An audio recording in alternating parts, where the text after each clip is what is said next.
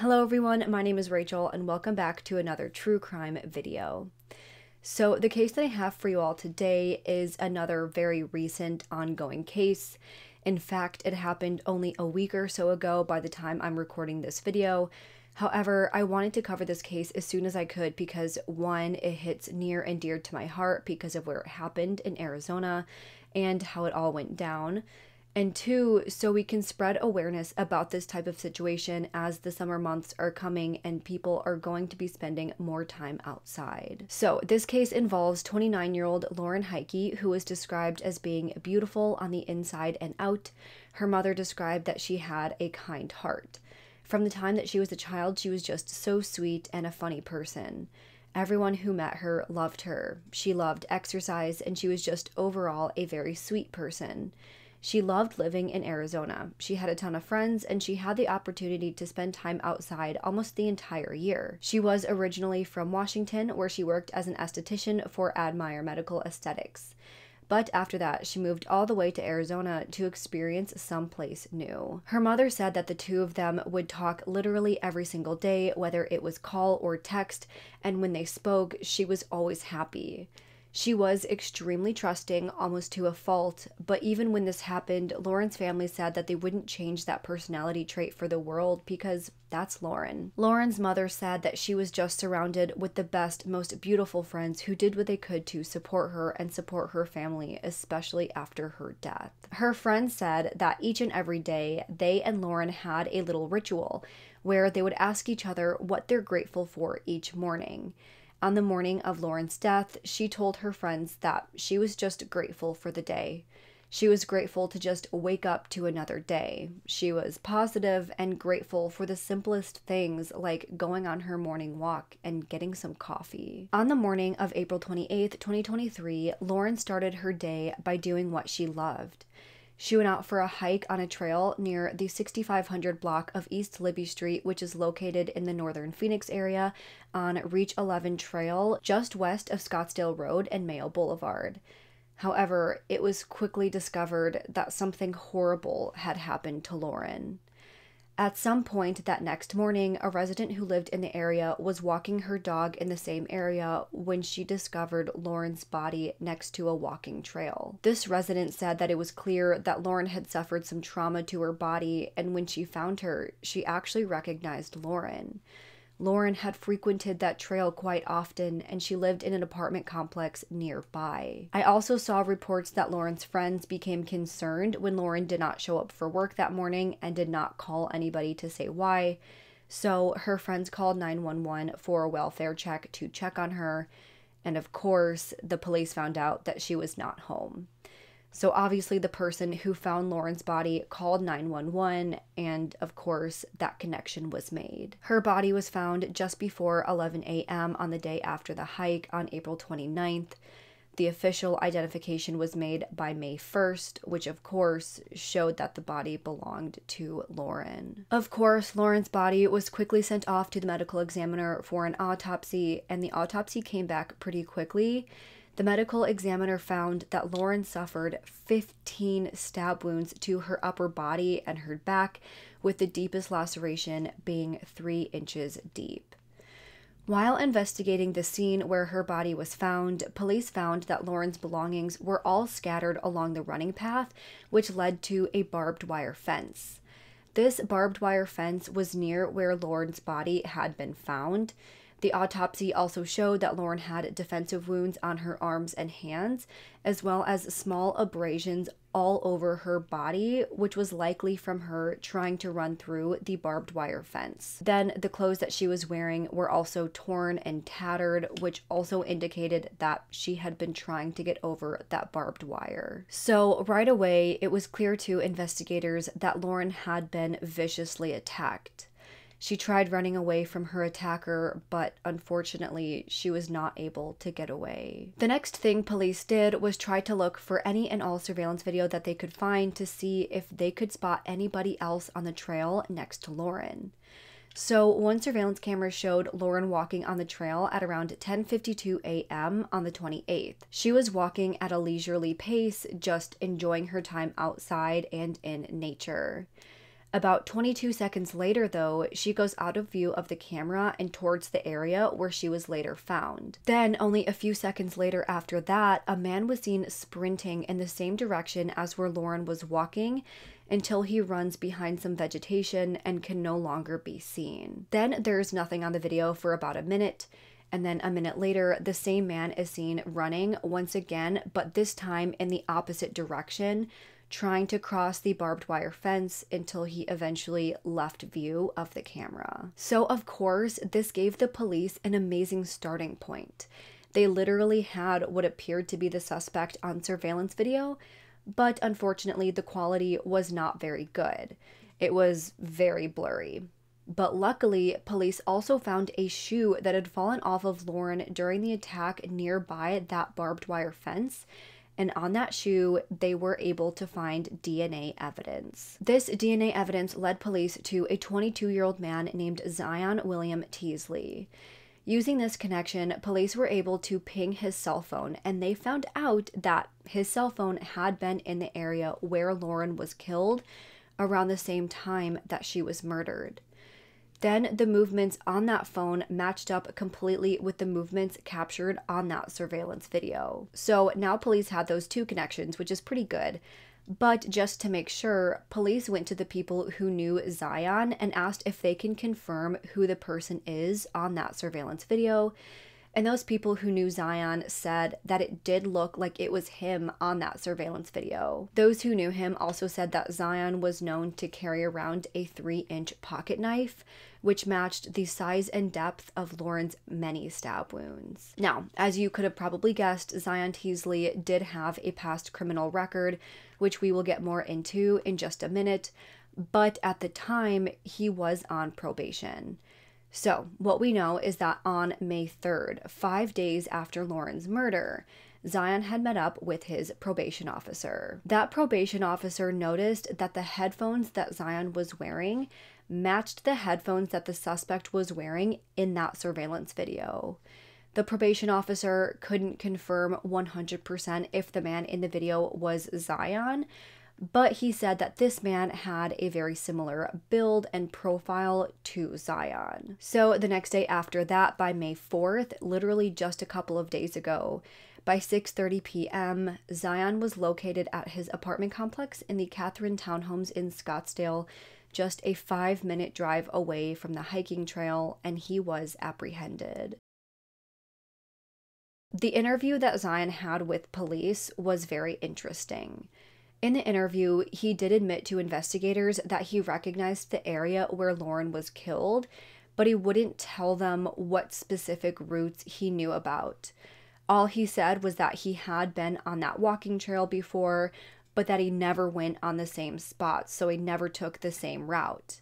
At first, he was shown a still image of the surveillance video that captured him, and he said, That's me. But then he recanted and started saying that he wasn't sure even after he was shown the actual video surveillance. Zion told investigators that he grew up Christian and struggled with his sexuality. He said that he was worried about the quote, salvation of his soul due to his thoughts. He told investigators that after killing Lauren, he saw some news reports about her and he immediately recognized her when they showed him a picture of her in the actual police interrogation, Zion told the police that he wanted to look like Lauren. When he was asked if he knew why he was arrested, he said something like, There's no freaking way I'm here for a sex crime. I haven't been with anyone for a long time. Once again, when he was showed a picture of Lauren in the interrogation room, he said that he couldn't remember if she was the one that he murdered or if he had ever even met her in person. Again, all he said was that he wanted to look like her.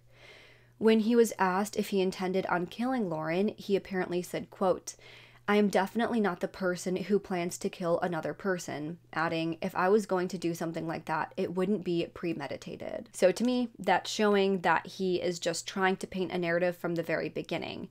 I don't know what to think about the whole I want to look like Lauren thing, struggling with his sexuality it 100% could be true. He could be struggling with that. He could be saying that because he wants to please some sort of defense, saying that like he didn't know what he was doing. Insanity, etc. When Zion was arrested, he was found to be in possession of a plane ticket to fly to Detroit in a couple of days. When he was asked about the ticket, he claimed that there had been a death in the family, but none of that information could be confirmed. So, to me, again, I think he was planning on fleeing to an area where family lived. I do think that Detroit is probably where his family lived. It's a random place to flee to if you don't know anybody there.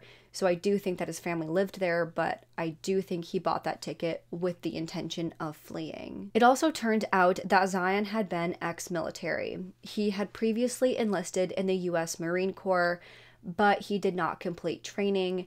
He started training in San Diego in March of 2019, but he was separated in June of 2019 before finishing boot camp. But we don't have any further details about his time in the military due to privacy acts. So we don't know how he was discharged, if he was discharged, if he just quit, etc. That's really all we know about that. So just the fact that he was in the military is definitely interesting. And like I said earlier, Zion did have a past criminal record. It turned out that Zion had just been released from prison that past November of 2022. And like I said, he was on probation at the time of Lauren's death.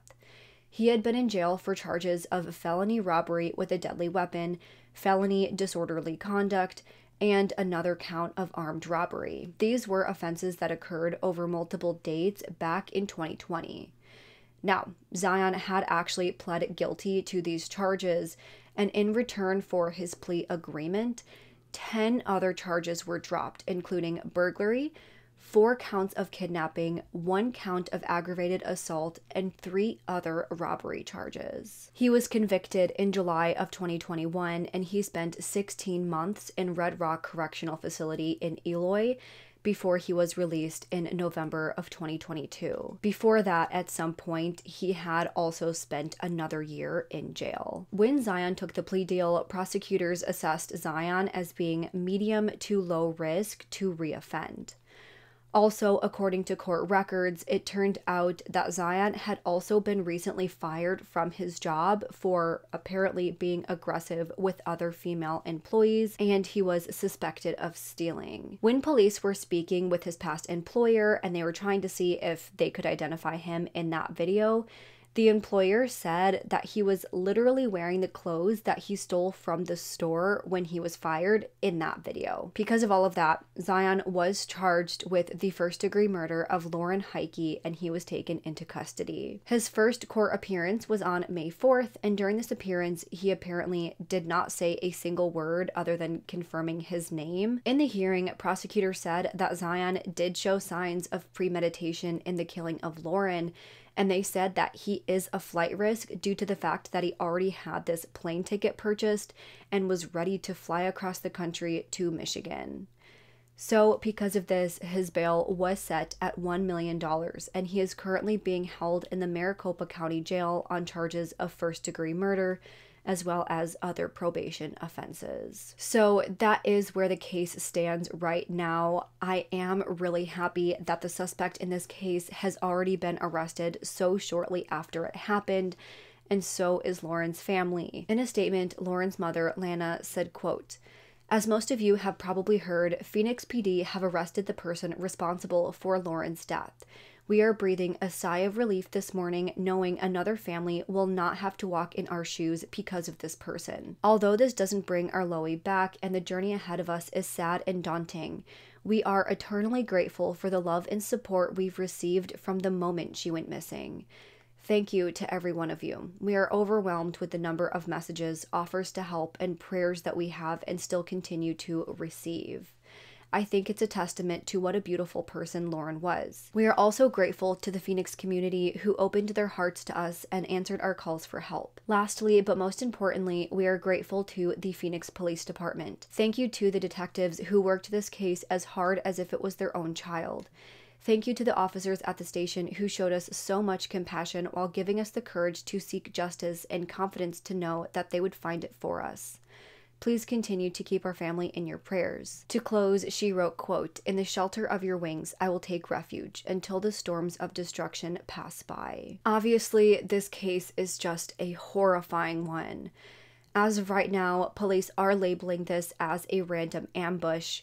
We don't know yet if there is anything else going on. We don't know if they knew each other or if he knew her or if there was anything else like stalking going on right now to them, it literally just seems like a completely random ambush of her being in the wrong place at the wrong time with a complete psycho. We did get a little bit of a peek into his state of mind during that police interview, but again, it's hard to tell if he's trying to stir up a narrative to seem more empathetic or if he's going to try to plead insanity.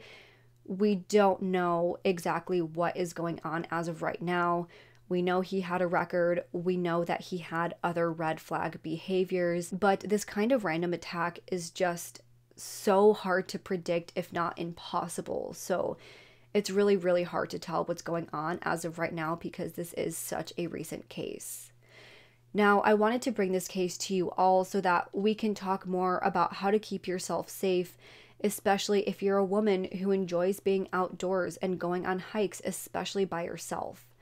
It sucks that we even have to consider our physical safety when we're doing things that we enjoy, but that's the reality of life. I am always urging my female viewers to do what you can to protect yourself. I'm someone I love going on hikes by myself. I love going on bike rides. I love bringing my dog. But if you are hiking alone, please first and foremost always be aware of your surroundings. Never have two earphones in. Always hike with one earphone in and the other ear open so that you can hear if anything is going on around you.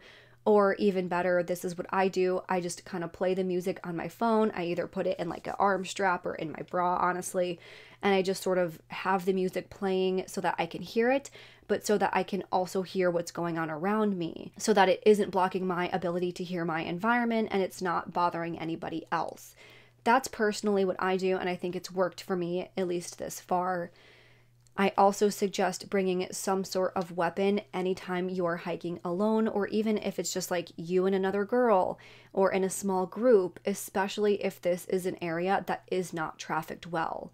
But even if it is, I've personally heard friends and coworkers tell me about situations where they're confronted with some weirdo while they're hiking on a trail that is very busy and well trafficked. Some people literally do not care who is around them and will attack whether there are others around or not. So please just stay aware. Bring some sort of weapon that you are comfortable with. Whether you have your own little pocket knife, which I do, I have a pretty cool knife that I bring with me on my own hikes you could also get a taser, which is really good if someone runs up on you and they come in close contact. They have like those little tasers that can go on a keychain. They have big ones. I have personally a bigger one that has a flashlight on it there's so many different options for those types of weapons. So if someone, you know, again, comes up, tries grabbing you, you can tase them pretty quickly. It's hard to stab someone with enough force to hurt them if they're already trying to attack you, which is why I like a taser because it's literally just a poke with a taser and you can really hurt someone. So I personally prefer a taser over a pocket knife, but whatever you feel more comfortable with. Another great option is pepper spray, which honestly can deter someone for a good few seconds, which can be enough to save your life. Even if it just startles them and they try chasing you again, that can still be enough to get a head start on them to get them away from you. Or if you're comfortable with carrying, carry. If you're trained with your firearm and you're comfortable shooting it without earplugs in that environment, then bring it. There's no such thing as being too safe when you're hiking alone or in a small group. So, again, whatever you're comfortable with, I do suggest bringing some sort of personal protection weapon so that you can have the leg up if someone does try to attack you. And lastly, I highly suggest sharing your location with your family and trusted friends. I honestly have my location on all of the time with a couple of my friends who I trust. But especially if you are someone who loves hiking alone, or if you just decide one day, hey, I want to go on this random hike, it's only a one time thing, but you're still going, just let a friend who lives nearby know and share your location so that if something is off, they may notice a lot sooner. Just text a friend, say, hey, I'm going on a hike. You have my location for the morning if I don't get back by this time, just please give me a call. Or if I don't answer, you know, that means that I'm probably in danger. Just let them know. It's really not that big of a deal. Some friends might think that you're being too paranoid, but I would rather be too paranoid and my friends be like, she's paranoid. What's wrong with her? Than get hurt and have nobody know what happened to me. So that just sort of puts things into perspective for me. All of these things are steps that, yes, we should not have to take. So many people will say, well, we shouldn't have to do this, so I'm not gonna. And those are the people that end up getting hurt. And again, it's unfortunate. We should be able to go out and hike and just have a good time, not being afraid. Women should be able to do whatever they want without fear of being harmed. But unfortunately, the world we live in, no matter where you live in the world, there are shitty people out there. There are crappy people out there. There are people who want to do you harm. It's not everybody. In fact, it's rare. Those people are rare, but they exist. So, again, we just need to take the steps to protect ourselves in case of that situation, even if it doesn't seem likely that it'll happen to you. Think of how many times Lauren went on a hike without being harmed, especially if she goes every single day. You can go 364 times without being harmed, but on that 365th, when you're not prepared, something happens. So, again, please just every single time you go out there, every single time you go hike, biking, whatever by yourself or in a small group, especially if you are a female, please take the time to just protect yourself. Take the time to be aware of your surroundings and just know what's going on around you. Be prepared for these situations. It's better to be safe than sorry, and it's better to be prepared if this type of situation were to happen to you. Have fun, go hike, enjoy the outdoors, be independent, exercise, do everything that you love but please be safe while doing so. So that is where I will get off my soapbox for the day. I know I rant about these things a lot, but genuinely, I care about each and every one of you and your safety. I just, I want each and every one of you to be safe. I know hiking is so much fun, being by yourself, being outdoors. It's so much fun. Just make sure you're doing it safely. And that's all I'll say about that because I know I, I get on my soapbox about that. But that is all I have for today's video. My heart, of course, goes out to Lauren, her family, and everybody else who loved her. But that is all I have for today's case. Because of how recent this case is, I will keep you all updated as any new information comes out. But for now, that is all I have for you guys today. If you liked this video, please make sure to go ahead and leave this video a thumbs up and subscribe to my channel. I put out new true crime and mystery videos every single week. Don't forget to go ahead and turn that notification bell to on so you don't miss out on any of my future videos. Make sure you go ahead and follow my Twitter and Instagram. Both will be linked down below. Twitter is where I keep the most up to date with any recent case that I cover, like this one. If you have absolutely any case suggestions for a case that you'd like to see covered on this channel, make sure you go ahead and fill out the Google form that I have listed down below. With that, I hope you guys have an amazing week. Stay safe, stay healthy, and I hope to see you next time.